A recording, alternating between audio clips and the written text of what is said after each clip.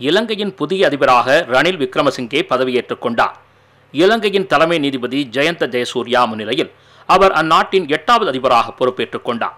இலங்கையில் நிலவும் கடுமையான பொருளாதார நெருக்கடிக்கு பொறுப்பேற்று அதிபர் பதவியிலிருந்து கோத்தபய ராஜபக்சே பதவி விலக வேண்டும் என்று அந்நாட்டு மக்கள் தீவிர போராட்டத்தில் ஈடுபட்டனர். இதனையடுத்து அதிபர் பதவியை கோத்தபய ராஜபக்சா ராஜினாமா செய்தார். இந்நிலையில் புதிய அதிபர் தேர்தல் நடத்தப்பட்டது. அந்நாட்டு நாடாளுமன்ற உறுப்பினர்கள் மட்டும் வாக்களித்த இத்தேர்தலில் மொத்தமுள்ள இருநூற்று இருபத்தி மூன்று வாக்குகளில் ரணில் விக்ரமசிங்கே நூற்று முப்பத்து நான்கு வாக்குகளும். அவரை எதிர்த்து போட்டியிட்ட டல்லஸ் அழகபெரும எண்பத்தி இரண்டு வாக்குகளும். அனுராக் குமார் திசநாயக்கே மூன்று வாக்குகளும் பெற்றன. நான்கு செல்லாத ஓட்டுகளும் பதிவாகின. இதன் மூலம் ரணில் விக்ரமசிங்கே இலங்கையின் புதிய அதிபராக தேர்வு செய்யப்பட்டு பொறுப்பேற்றுக் கொண்டார். ரணில் விக்ரமசிங்கே இரண்டாயிரத்து இருபத்தி நான்காம் ஆண்டு வரை பதவியில் நீடிப்பார் என்று தெரிகிறது. இதனிடையே ரணில் விக்ரமசிங்கே தேர்ந்தெடுக்கப்பட்டதை எதிர்த்து அந்நாட்டு மக்கள் அவரது வீட்டின் முன்பாக போராட்டத்தில் ஈடுபட்டனர்.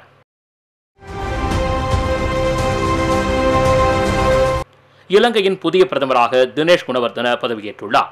பிரதமர் அலுவலகத்தில் நடைபெற்ற பதவியேற்பு நிகழ்ச்சியில் பிரதமர் தினேஷ் குணவர்தன மற்றும் புதிய அமைச்சர்கள் பதவியேற்றுக் கொண்டனர். முன்னதாக இலங்கை நாடாளுமன்ற அதிபர் தேர்தலில் வெற்றி பெற்ற ரணில் விக்ரமசிங்கே பதவியேற்றுக் கொண்டார். புதிய அரசுக்கு எதிர்ப்பு தெரிவித்து கொழும்பில் போராட்டக்காரர்களுக்கும் காவல்துறையினருக்கும் இடையே கடும் மோதல் ஏற்பட்டது.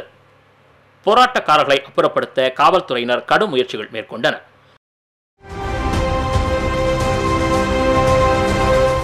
கடந்த ஜனவரி முதல் ஏப்ரல் வரையிலான நான்கு மாத காலங்களில் இலங்கைக்கு மற்ற நாடுகளை விட அதிக அளவில் கடன் வழங்கி இந்தியா உதவி உள்ளதாக அந்நாட்டின் நிதியமைச்சகம் தெரிவித்துள்ளது.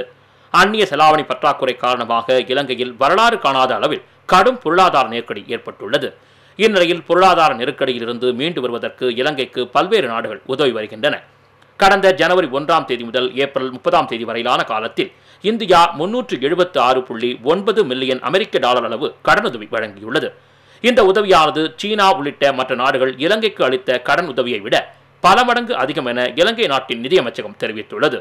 பொருளாதார நெருக்கடியில் சிக்கித் தவிக்கும் இலங்கைக்கு இந்தியா உணவு மற்றும் எரிபொருட்களையும் வழங்கி உதவி வருவது என்பது குறிப்பிடத்தக்கது.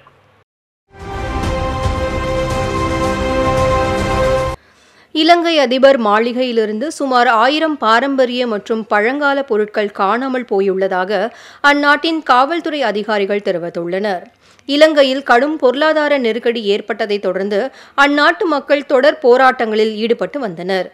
அதில் ஒரு பகுதியினர் கொழும்பில் உள்ள அதிபர் மாளிகைக்குள் புகுந்து பொருட்களை சூறையாடினர். இதைத் தொடர்ந்து அதிபர் மாளிகையிலிருந்து பல விலை மதிப்புமிக்க பொருட்கள் காணாமல் போய்விட்டதாக அந்நாட்டு காவல்துறை தெரிவித்துள்ளது.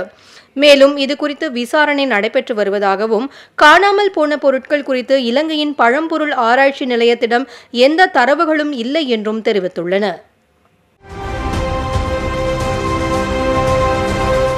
இங்கிலாந்தில் புதிய பிரதமர் தேர்வில் இந்திய வம்சாவளியைச் சேர்ந்த ரிஷி சுனக் முதல் இரண்டு போட்டியாளர்களின் ஒருவராக தேர்வாகியுள்ளார்.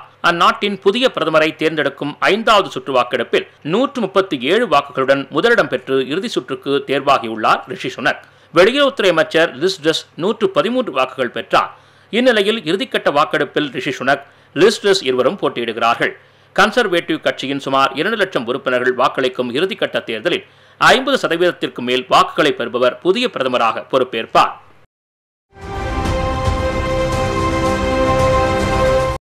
இத்தாலியில் பிரதமர் பதவியை மேரியோ டிராகி ராஜினாமா செய்ததை அடுத்து பிரதமர் பதவிக்கான தேர்தல் விரைவில் நடைபெறும் என அந்நாட்டு நாடாளுமன்றம் தெரிவித்துள்ளது. இத்தாலியில் ஏற்பட்டுள்ள பொருளாதார நெருக்கடி காரணமாக பிரதமர் மேரியோ டிராகி தலைமையிலான ஆளும் கட்சிக்கு கூட்டணி கட்சிகள் தங்களின் ஆதரவை விலக்கிக் கொண்டதைத் தொடர்ந்து பெரும்பான்மையை இழந்த காரணத்தால் மேரியோ டிராகி அதிபர் சர்ஜியோ மேட்ரல்லா முன்னிலையில் ராஜினாமா செய்தார். இதையடுத்து அடுத்த வருடம் நடைபெறவிருந்த பிரதமருக்கான தேர்தல் இந்த வருடமே நடைபெறும் என்று அறிவிக்கப்பட்டுள்ளது.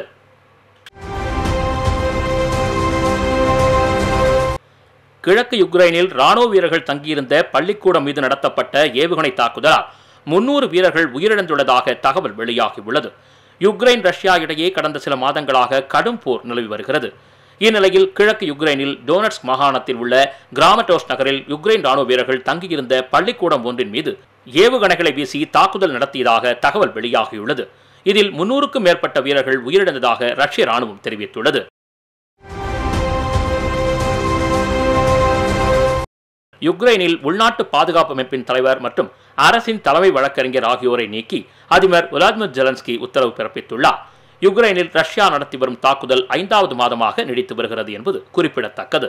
இந்நிலையில் உள்நாட்டு பாதுகாப்பு அமைப்பின் தலைவரும் தனது நண்பருமான இவான் வஹனோ மற்றும் அரசின் தலைமை வழக்கறிஞர் வெனக்டிவோ ஆகியோரை பதவியிலிருந்து நீக்கி அதிபர் உத்தரவிட்டுள்ளார். ரஷ்யாவுடன் பாதுகாப்பு அமைப்பின் ஊழியர்கள் தொடர்பில் இருப்பது தெரிய வந்ததால் இந்த நடவடிக்கை எடுக்கப்பட்டுள்ளதாக ஜெலன்ஸ்கி தெரிவித்துள்ளார். யுக்ரைன் ரஷ்யா இடையே உணவு தானிய ஏற்றுமதிக்கான ஒப்பந்தத்தில் இரு நாடுகளும் கையெழுத்திட்டுள்ளன. யுக்ரைன் ரஷ்யா நாடுகளுக்கு இடையே நிலவி வரும் கடும் போர் காரணமாக கருங்கடல் பகுதியின் வழித்தடங்களில் வர்த்தகம் செய்ய தடை செய்யப்பட்டது. இதனால் உலக நாடுகளில் உணவுப் பொருள் பற்றாக்குறை ஏற்படும் நிலை ஏற்பட்டுள்ளது. இதனைத் தொடர்ந்து யுக்ரைனில் உலக சந்தையில் தானியங்களை மீண்டும் ஏற்றுமதி செய்வது குறித்து ஐநா மற்றும் துருக்கியின் உதவியுடன் இஸ்தான்புல்லில் பேச்சுவார்த்தை நடைபெற்றது. இதையடுத்து இரு நாடுகளும் ஒப்பந்தத்தில் கையெழுத்திட்டுள்ளன.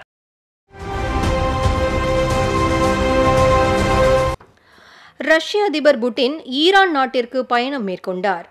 உக்ரைன் மீது கடந்த ஐந்து மாதங்களாக ரஷ்யா தாக்குதல் நடத்தி வரும் சூழலில் அதிபர் புட்டினின் இந்த ஈரான் பயணம் முக்கியத்துவம் பெறுகிறது.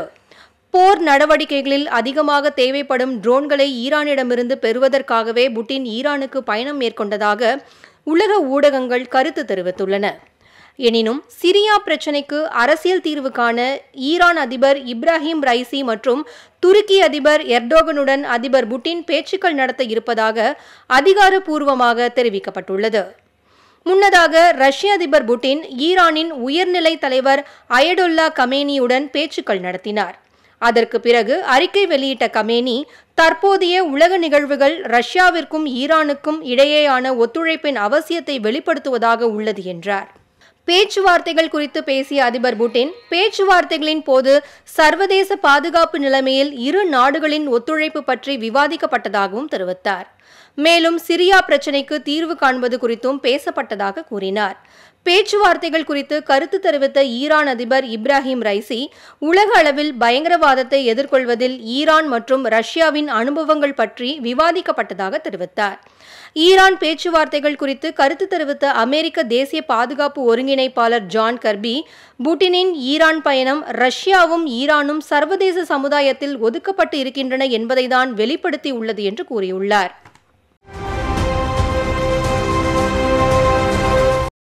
அமெரிக்காவின் வணிக வளாகத்தில் நடத்தப்பட்ட துப்பாக்கிச் சூட்டில் நான்கு பேர் உயிரிழந்தனர். இந்தியானா மாகாணத்தில் உள்ள கிரீன்வுட் வணிக வளாகத்தில் செயல்பட்டு வரும் உணவகத்தில் மர்ம நபர் ஒருவர் துப்பாக்கிச் சூடு நடத்தினார். தகவல் அறிந்து வந்த பாதுகாப்பு படையினர் அந்த நபரை துப்பாக்கியால் சுட்டுக் கொன்றனர். இதில் நான்கு பேர் உயிரிழந்ததாகவும் இரண்டு பேர் காயமடைந்ததாகவும் காவல்துறை தெரிவித்துள்ளது.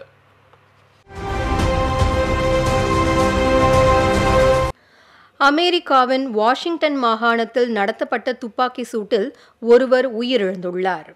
அமெரிக்காவின் பல இடங்களில் கடந்த சில நாட்களாக தொடர் துப்பாக்கி சூடு சம்பவங்கள் நிகழ்ந்து வருகின்றன. இதனால் அந்நாட்டு மக்கள் அச்சத்தில் உள்ளனர். இதையடுத்து அமெரிக்காவில் நடைபெற்ற ஒரு கூட்டத்தில் ஏற்பட்ட மோதலில் இந்த துப்பாக்கி சூடு சம்பவம் நிகழ்ந்துள்ளது. இதில் ஒருவர் உயிரிழந்தார். ஐந்து பேர் காயமடைந்துள்ளனர். இது குறித்து தகவல் தெரிவித்துள்ள காவல்துறை அதிகாரிகள் இந்த துப்பாக்கி சூடு சம்பவம் குறித்து விசாரணை மேற்கொண்டு வருவதாக தெரிவித்துள்ளனர். இயற்கை எரிவாயு மீதான ஏற்றுமதி தடை கிழக்கு ஐரோப்பிய நாடுகள் மற்றும் இத்தாலியில் கடும் பொருளாதார சீழிவை ஏற்படுத்தும் என்று சர்வதேச நிதியம் எச்சரிக்கை விடுத்துள்ளது. இந்நிலை நீடித்தால் உலக அளவில் இயற்கை எரிவாயு பதுக்கல் அதிகரித்து தட்டுப்பாடு அதிகரிக்கும் சூழல் உருவாக வாய்ப்புள்ளது என்று குறிப்பிடப்பட்டுள்ளது. இயற்கை எரிவாயு விலை செயற்கையாக உயர்த்தப்பட்டுள்ளதாகவும் முந்தைய நிலை தொடரும் வரை ஐரோப்பிய நாடுகளில் கடும் பொருளாதார விளைவுகள் ஏற்படும் என்று சர்வதேச நிதியம் தெரிவித்துள்ளது.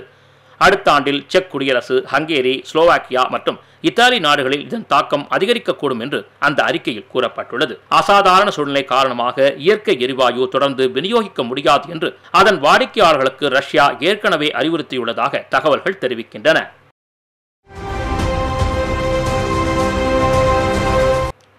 பருவநிலை மாற்றம் நாம் சந்திக்கும் பேராபத்து என்றும் அதை எதிர்கொள்ள உடனடியாக தீவிர நடவடிக்கைகளை மேற்கொள்ள வேண்டும் என்றும் அமெரிக்க அதிபர் ஜோ பைடன் வலியுறுத்தியுள்ளார். வாஷிங்டனில் செய்தியாளர்களிடம் பேசிய அவர் பருவநிலை மாற்றம் ஒரு உலகளாவிய அவசர நிலை என்றும் அதனால் ஏற்படும் விளைவுகளை தடுப்பதற்கு அதிபராக தன்னிடம் இருக்கும் நிர்வாக அதிகாரத்தை முழுவதுமாக பயன்படுத்துவேன் என்றும் அவர் உறுதியளித்துள்ளார்.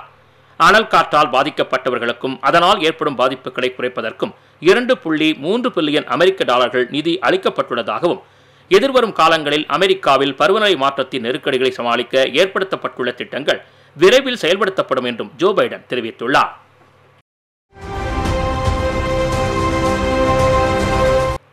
காலநிலை மாற்றத்தை தடுப்பதற்கான நடவடிக்கைகளை எடுப்பதன் அவசியத்தை ஐரோப்பாவில் அதிகரித்து வரும் வெப்ப அலையின் தாக்கம் அடிக்கோடிட்டு காட்டுவதாக உலக சுகாதார அமைப்பு தெரிவித்துள்ளது. ஐரோப்பாவை சுற்றியுள்ள சில நாடுகளில் கடந்த சில நாட்களாக வெப்ப அலை நிலவி வருகிறது. இதனால் பலர் உயிரிழக்கும் அபாயம் ஏற்பட்டுள்ளது. இதனையடுத்து ஸ்பெயின் மற்றும் போர்ச்சுகல் ஆகிய நாடுகளில் வெப்ப அலை காரணமாக ஆயிரத்து எழுநூறு பேர் உயிரிழந்துள்ளனர். இதனைத் தொடர்ந்து பாரிஸ் காலநிலை மாற்ற ஒப்பந்தம் குறித்து முடிவெடுக்க சம்பந்தப்பட்ட அரசுகளை வலியுறுத்துவதாக உலக சுகாதார அமைப்பின் ஐரோப்பாவிற்கான இயக்குனர் ஹான்ஸ் தனது செய்தி அறிக்கையில் தெரிவித்துள்ளார்.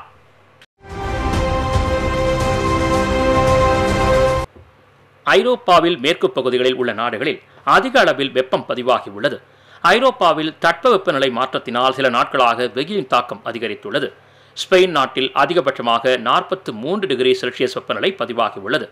இதேபோல பிரான்ஸ் நாட்டின் பல்வேறு பகுதிகளில் நாற்பத்தி இரண்டு டிகிரி செல்சியஸ் வரை வெப்பம் பதிவாகியுள்ளது. தொடர்ந்து அதிகரித்து வரும் வெப்பநிலை காரணமாக இங்கிலாந்து பிரான்ஸ் உள்ளிட்ட நாடுகளில் சிவப்பு எச்சரிக்கை விடுக்கப்பட்டுள்ளது. வெயிலின் தாக்கத்தினால் பிரான்ஸ் ஸ்பெயின் கிரீஸ் போர்ச்சுகல் ஆகிய நாடுகளில் கடும் வெயில் காரணமாக பல்வேறு இடங்களில் காட்டுத்தீ ஏற்பட்டுள்ளதால் ஆயிரக்கணக்கான மக்கள் அப்பகுதிகளிலிருந்து வெளியேற தொடங்கியுள்ளனர். ஐரோப்பிய நாடுகளில் அடுத்த சில நாட்களுக்கு வெயிலின் தாக்கம் அதிக அளவில் இருக்கும் என்பதால் பொதுமக்கள் எச்சரிக்கையாக இருக்க அறிவுறுத்தப்பட்டுள்ளனர்.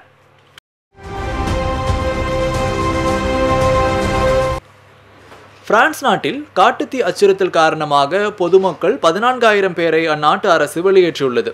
ஸ்பெயின் குரேஷியா மற்றும் கிரீஸ் ஆகிய நாடுகளில் கடந்த சில நாட்களாக காட்டுத்தீ பரவி வருகிறது. இதனால் அதிக வெப்பம் காரணமாக போர்ச்சுகல் நாட்டில் இருநூறுக்கும் மேற்பட்டோர் உயிரிழந்துள்ளனர். இதனால் பிரான்சில் நாற்பத்தி ஒரு டிகிரி செல்சியஸ் அளவிலும் போர்ச்சுகல் நாட்டில் நாற்பத்தி ஏழு டிகிரி செல்சியஸ் அளவிலும் வெப்பம் பதிவாகியுள்ளது. வேகமாக பரவி வரும் இந்த காட்டுத்தீ பிரான்ஸ் நாட்டின் தென்மேற்கு பகுதியிலும் பரவ வாய்ப்புள்ளதால் பொதுமக்களை அந்நாட்டு அரசு வெளியேற்றி பாதுகாப்பான இடங்களில் தங்க வைத்துள்ளது.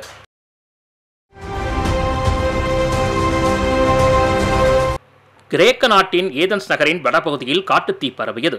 ஒன்பது விமானங்கள் பதினைந்து நீர் இறைக்கும் விமானங்கள் நானூற்று இருபது தீயணைப்பு வீரர்களின் உதவியோடு மீட்புப் பணிகள் நடைபெற்று வருவதாக அந்நாட்டு அரசு தெரிவித்துள்ளது.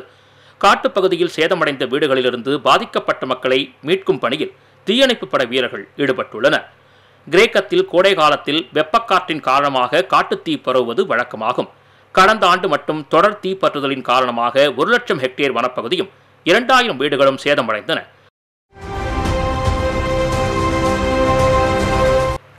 இங்கிலாந்தில் அதிகரித்து வரும் வெப்பம் காரணமாக லண்டன் மான்செஸ்டர் உள்ளிட்ட முக்கிய நகரங்களில் சிவப்பு எச்சரிக்கை விடுக்கப்பட்டதாக அந்நாட்டின் தேசிய வானிலை ஆய்வு மையம் தெரிவித்துள்ளது. இங்கிலாந்து நாட்டில் சில நாட்களாகவே வரலாறு காணாத அளவில் வெயிலின் தாக்கம் அதிகரித்துள்ளது. தட்பவெப்பநிலை மாற்றத்தால் அதிகரித்துள்ள வெப்பத்தினால் தலைநகர் லண்டன் மான்செஸ்டர் யார்க் கேம்பிரிட்ஜ் உள்ளிட்ட முக்கிய நகரங்களில் சிவப்பு எச்சரிக்கை விடுக்கப்பட்டுள்ளது. மேலும் சில நாட்களுக்கு வெயிலின் தாக்கம் நாற்பது டிகிரி செல்சியஸுக்கு மேல் இருக்கும் என்பதால் பொதுமக்கள் எச்சரிக்கையாக இருக்க அறிவுறுத்தப்பட்டுள்ளது. வெயிலின் தாக்கத்தால் பாதிக்கப்படாமல் இருக்க வீட்டை குளுமையாக வைத்துக் கொள்ளவும் சூரிய ஒளியின் நேரடி தாக்கத்தை தவிர்க்க பொதுமக்கள் வீடுகளை விட்டு வெளியேற வேண்டாம் எனவும் அந்நாட்டு அரசு அறிவுறுத்தியுள்ளது.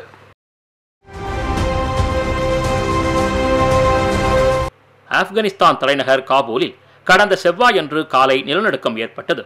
இது ரிக்டர் அளவில் நான்கு புள்ளி ஏழாக பதிவாகியுள்ளது. காபூலின் தெற்கு பகுதியில் நூற்று முப்பத்தி ஏழு கிலோமீட்டர் தொலைவில் இந்த நிலநடுக்கம் ஏற்பட்டதாக அந்நாட்டின் தேசிய நில அதிர்வு மையம் அறிவித்துள்ளது. காலை ஆறு நாற்பது மணி அளவில் ஏற்பட்ட இந்த நிலநடுக்கத்தால் உயிரிழப்பு எதுவும் ஏற்படவில்லை என்றும் தெரிவிக்கப்பட்டுள்ளது.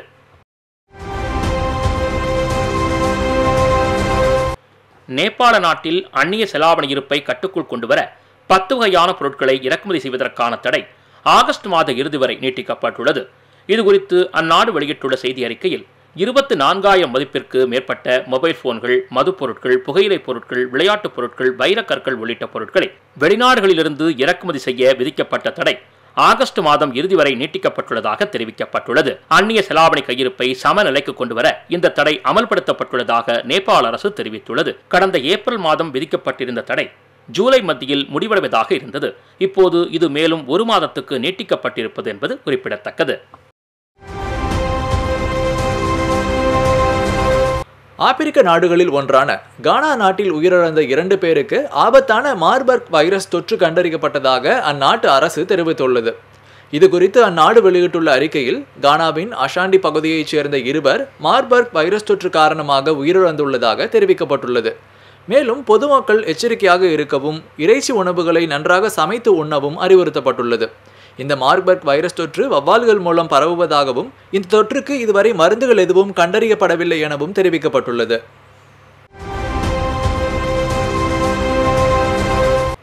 ஆப்கானிஸ்தானின் பஹலான் மாகாணத்தில் நடந்த சாலை விபத்தில் எட்டு பேர் உயிரிழந்தனர். ஆப்கானின் தலைநகர் காபூலிலிருந்து பால்க் நகர் பகுதிக்கு சென்று கொண்டிருந்த பயணியர் பேருந்தின் மீது லாரி மோதியது தகவல் அறிந்து உடனே விரைந்த மீட்பு படையினர் படுகாயமடைந்தவர்களை மீட்டு சிகிச்சைக்காக அனுப்பி வைத்ததாக அந்நாட்டு அதிகாரிகள் தெரிவித்தனர். மேலும் இந்த விபத்தில் எட்டு பேர் உயிரிழந்துள்ளதாகவும் விபத்து குறித்து விசாரணை நடைபெற்று வருவதாகவும் அதிகாரிகள் தெரிவித்துள்ளனர். குரங்கு அம்மை பாதிப்பை அவசர நிலையாக உலக சுகாதார அமைப்பு அறிவித்துள்ளது. தொற்று நோய்கள் தொடர்பான உலக சுகாதார அமைப்பின் இரண்டாவது அவசர கூட்டம் நடைபெற்றது. இதையடுத்து உலக சுகாதார அமைப்பின் தலைமை இயக்குநர் டெட்ரஸ் அதானம் எழுபத்தி ஐந்து நாடுகளில் பதினாறாயிரத்திற்கும் மேற்பட்ட குரங்கு அம்மை பாதிப்புகள் பதிவாகி உள்ளதாகவும் இந்த பாதிப்பால் உயிரிழப்புகள் ஏற்பட்டுள்ளதாகவும் தெரிவித்தார். மேலும் குரங்கம்மை பாதிப்பு உலகம் முழுவதும் வேகமாக பரவி வருவதால் இதுகுறித்து அவசர நிலை அறிவிப்பதாகவும் அவர் தெரிவித்தார்.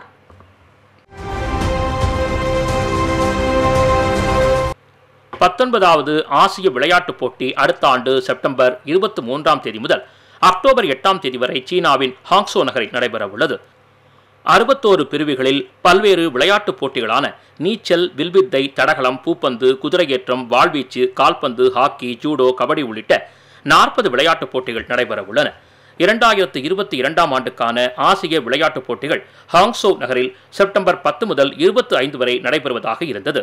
கொரோனா பெருந்தொற்று காரணமாக ஒத்திவைக்கப்பட்டது என்பது குறிப்பிடத்தக்கது. அமெரிக்காவின் ஆரிகானில் நடைபெறும் உலக தடகள சாம்பியன் போட்டிகளில் ஈட்டி எறிதல் பிரிவில் இந்தியாவின் நீரஜ் சோப்ரா வெள்ளிப்பதக்கம் வென்று வரலாற்று சாதனை படைத்துள்ளார்.